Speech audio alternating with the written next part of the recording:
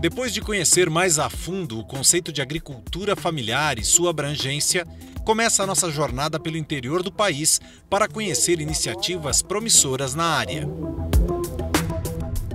Nossa primeira parada é a região do Pontal do Paranapanema, extremo sudoeste do estado de São Paulo.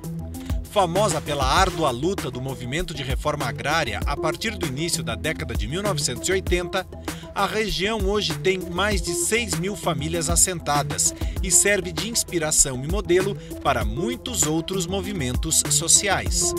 Segue conosco nessa jornada o professor Paulo Kageyama, do Departamento de Ciências Florestais da Exalc pesquisador das áreas de agricultura familiar e segurança alimentar e idealizador de projetos de extensão na área de agroecologia. Um velho amigo dos nossos anfitriões na região. A grande vantagem, vantagem. né? Você produz um pouco menos, mas gasta muito menos. Né? Começamos nossa visita pela casa do Francisco, conhecido nas redondezas como seu Chiquinho, um dos parceiros do professor Paulo nos projetos locais de agroecologia. Integrante de um dos primeiros grupos de assentados a chegar por aqui, ele relembra como foi a luta pela terra e as conquistas de lá para cá. 96 nós recebeu o lote. Irmão, esse lote aqui.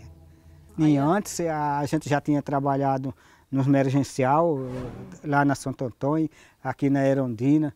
A gente tinha pegado os emergencial enquanto saía os lotes. E a gente ia plantando aqueles pedacinhos de, de uma quarta, meio alqueiro, até receber o lote.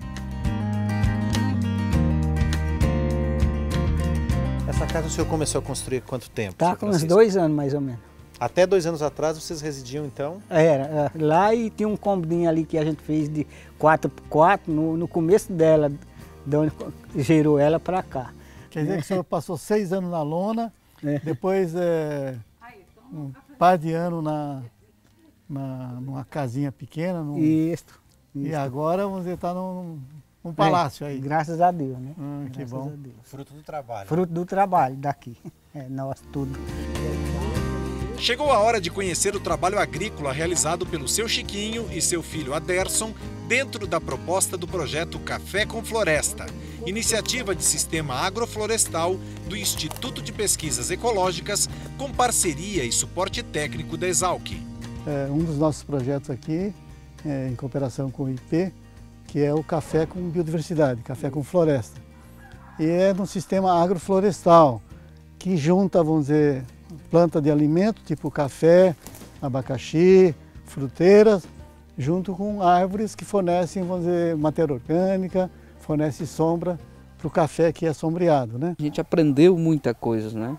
Os projetos, a parceria que tem os projetos, trouxe para dentro do assentamento, né, desenvolveu, trouxe conhecimento para a agricultura familiar. Hoje, aqui é um exemplo disso, né, aqui no lote do meu pai, assentado, tem aqui projeto Café com Floresta, né, é uma, uma coisa inovadora para as pessoas que às vezes não, não tem esse termo, a gente fala isso aqui de SAF, né, isso é, que é o termo que a gente, que a gente usa. O que, que é SAF, né? Então você ajunta, você é uma junção de duas coisas, onde você traz os produtos agrícolas e junta os produtos agrícolas com a floresta. Então isso é SAF, que é o sistema agroflorestal. Você consorcia né, produtos agrícolas junto com árvores, espécies nativas do mato. Você faz esse consórcio onde você pode plantar o café, onde você pode plantar melancia, uma abóbora, um milho, um feijão, né? uma infinidade de produtos onde você pode produzir enquanto o, o café vai se formando e as árvores vai se formando, você vai produzindo isso para né, é para ser autossustentável, tanto para você como né, a segurança, a gente está falando de segurança alimentar, a gente vai falando disso, né? E aí isso vai se produzindo com o decorrer do tempo, quando isso passa a ser o excedente, você passa a comercializar, né? Mas a gente pensa em si, primeiro na questão da segurança alimentar da pessoa que está inserido naquele lote. E aí quando você melhora essa qualidade de vida dele na segurança militar, que é alimentar, que é isso passa a ser excedente, aí a gente começa a pensar em, na comercialização desses produtos. Né? Aqui é o palmito de novo.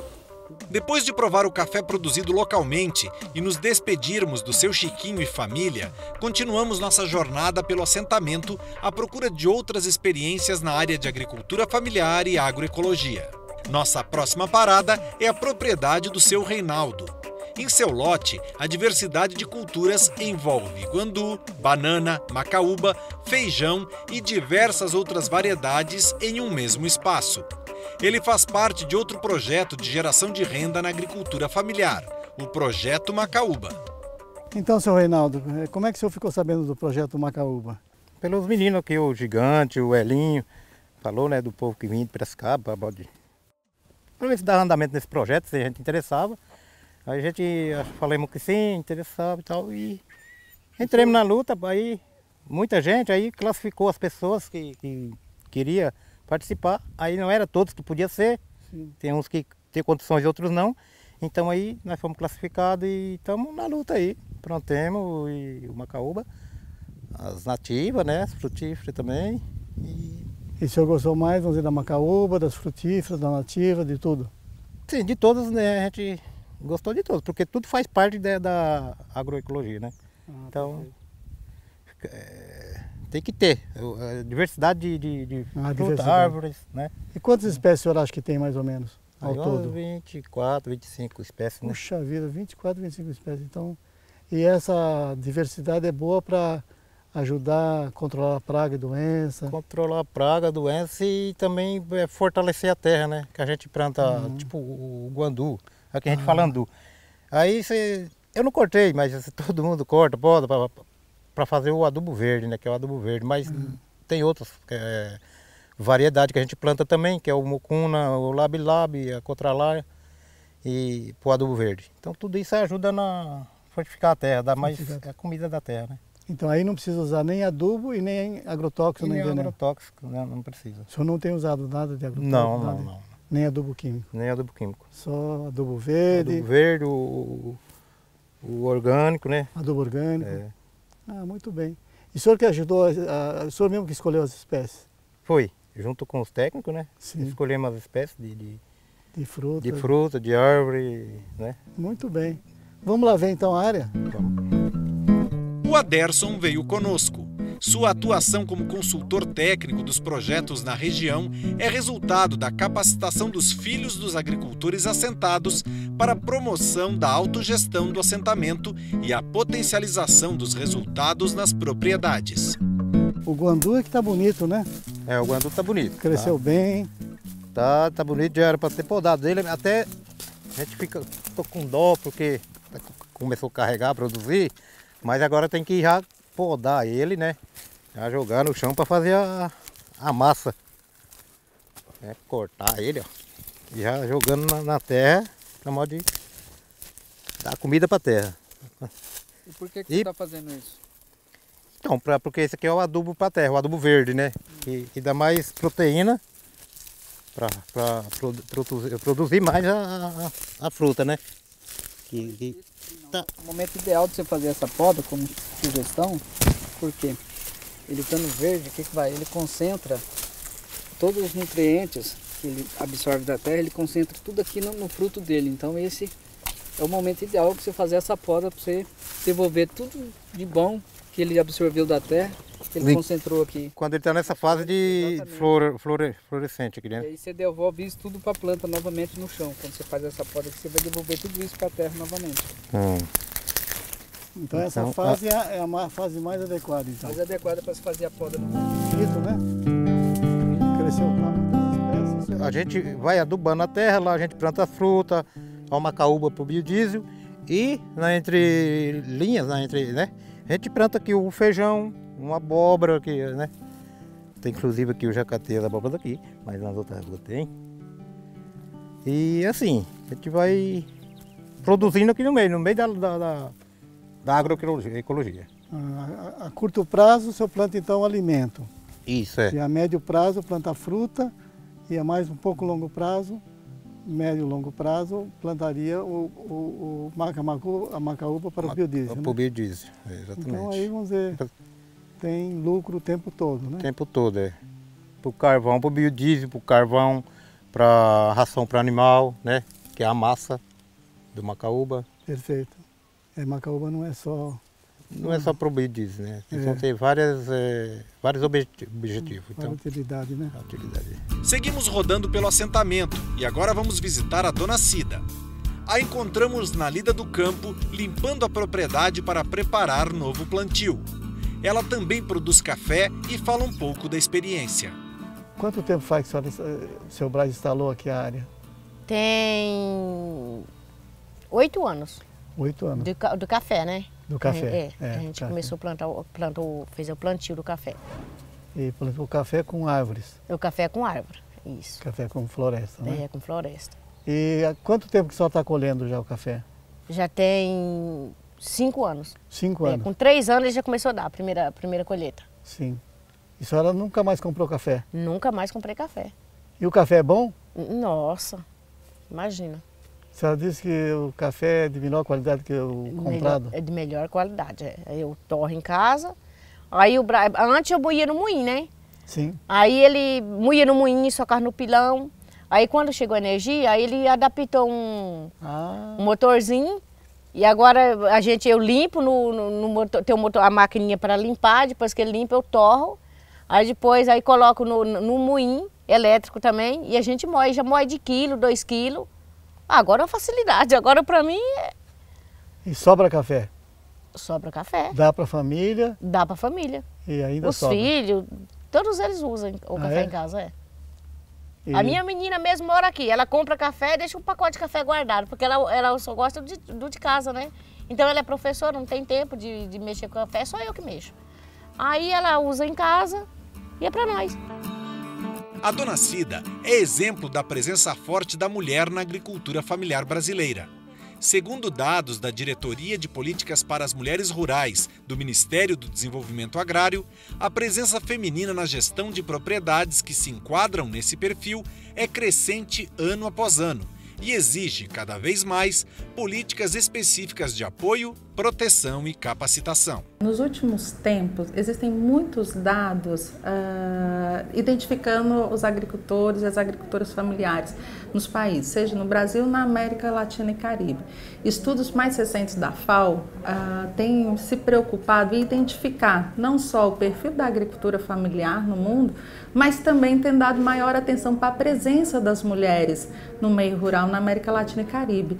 Um documento recente que a FAO soltou ainda esse ano sobre o perfil das mulheres na agricultura familiar e Caribe, vamos dizer que elas são, por exemplo, de 8 a 30% responsáveis pelos estabelecimentos.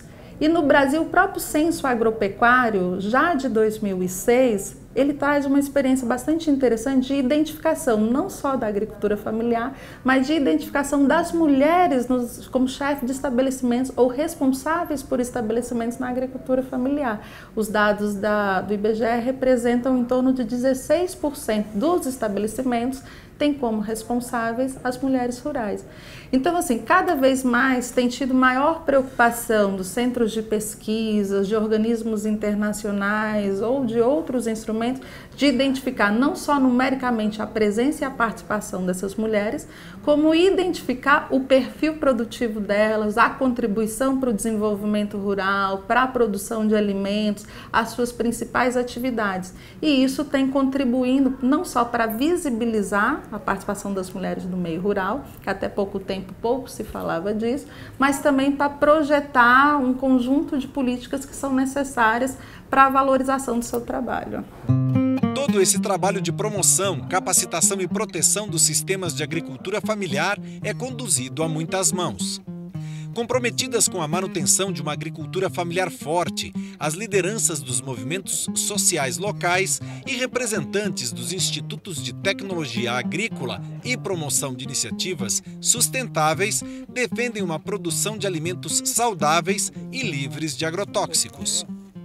Coisa mais interessante que nós tem aqui no nosso país, todas as regiões, é a agricultura familiar, produzindo é, a maioria sem veneno. Isso que é interessante, que nós produzimos comida saudável.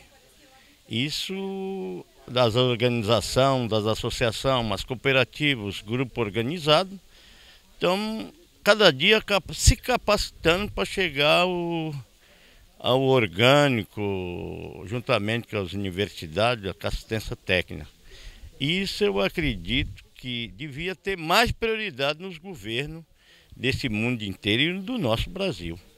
Já há indicadores aqui no Brasil dizendo que é a agricultura familiar quem coloca 70% dos produtos alimentícios na mesa da sociedade.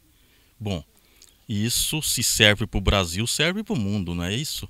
Bom, esse é um aspecto. O outro aspecto é que nós, apesar da sociedade hegemonizada pelo capitalismo, em que ele é totalmente, ou quase totalmente urbano, não é? nós temos no mundo uma crise com isso porque os indicadores apontam mais de um bilhão de gente passando fome. Que sociedade é essa que tem mais de um bilhão de gente passando fome, em contraste com mais de um bilhão de automóveis circulando? Não é? Então, colocar o ano internacional da agricultura familiar pela ONU tem essa simbologia, essa esse aceno, esse gesto de que é preciso a humanidade repensar seu modelo de sociedade, seu modelo de produção é, e priorizar, inclusive, a produção de alimentos e alimentos saudáveis, como tanto coloca em pauta os movimentos sociais do campo no mundo inteiro. É, o objetivo é desenvolver um tipo de agricultura, né? não tradicional, né? mas aquele que pode, pode dar um pouquinho de padrão de vida melhor para os produtores. Né? E dessa forma nós decidimos por trabalhar na área de agroecologia, né? não num sistema de agricultura tradicional. E nós temos uma população muito grande aqui né, a ser atendida por esse modelo de produção. Né? Então, inicialmente, nós começamos com, tentando cumprir a meta né, de reserva legal. Né? E no processo de implantação da reserva, o objetivo nosso é é, ter um sistema que tenha geração de renda no processo de implantação da reserva. E, e, nós entramos então no caso com a parte de produção de hortaliças, frutas a curto prazo, né? Até ah, o, no, no, fim, o objetivo nosso é produzir, trabalhar com macaúba aqui, né, no Pontal, né, para produção de biodiesel. Só que leva anos para começar a produzir, né? Algumas vezes é, acho que vai sete, oito anos, né? Então, durante esse processo de implantação, nós trabalhamos com hortaliça e fruta, que é a nossa especialidade aqui. Né? O IP ele busca é, valorizar também é, muito a questão da, da cultura, né? Então, com esse projeto, buscar aspectos como é, resgatar as formas de produção que sejam de forma mais sustentável, né? Onde isso é, faz com que respeite os, os, produtores e também respeite todos aqueles que dependem dessa é, desse local onde vivem. Então, criar formas de produção que ela valorizem também os produtores, né? É, isso usando menos agrotóxicos, usando ou a, a um processo que a longo prazo você também retira todo esse uso de insumos externos, principalmente agrotóxicos, e fazendo com que essas áreas elas possam se equilibrar é, a longo prazo e isso consequentemente vem acarretar numa produção mais saudável, equilibrando meio ambiente e produção é, nos assentamentos rurais.